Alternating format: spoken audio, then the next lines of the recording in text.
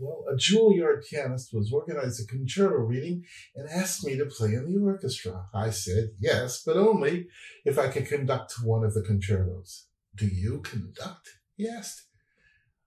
A friend said that I was wonderful, so he asked me to conduct his Brahms. When he left, we cracked up, as I had never ever conducted. A month passed, and the pianist asked to meet. this was getting serious, so I called my conductor friend Vicky, who gave me three lessons. Well, the evening came and I started conducting. I loved it. Miss DeLay was there, so afterwards I went up to her and asked what what she thought. And she said, Billy, can you be mean? You know, conductors, they have to be mean. I just walked away.